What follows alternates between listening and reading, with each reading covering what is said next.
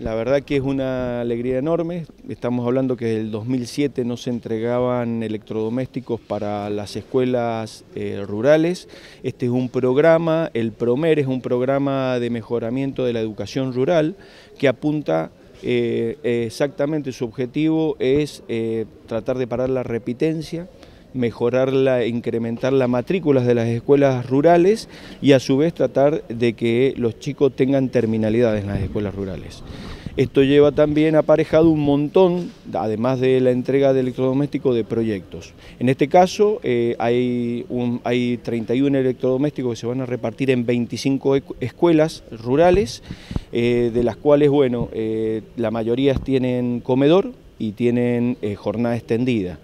Por eso también esto sirve para poder eh, darle un, sustento a estas escuelas y poder eh, hacer que eh, tengan un una mejor educación. Como dijo el señor gobernador en su momento, eh, es importante que las escuelas estén equipadas y en condiciones para poder educar. Están entregando 6 freezers, 17 eh, eh, heladeras con freezer y 8 cocinas industriales. El valor de todos estos implementos son aproximadamente de un millón de pesos. Se hace un relevamiento, el año pasado se hizo un relevamiento de las necesidades de las escuelas y en base a eso se elevó y bueno, el PROMER eh, lo elevó, también tenemos una coordinación del PROMER en, la provincia. Acuérdense que el PROMER depende del el Ministerio de Educación, eh, Ciencia y Tecnología de la Nación.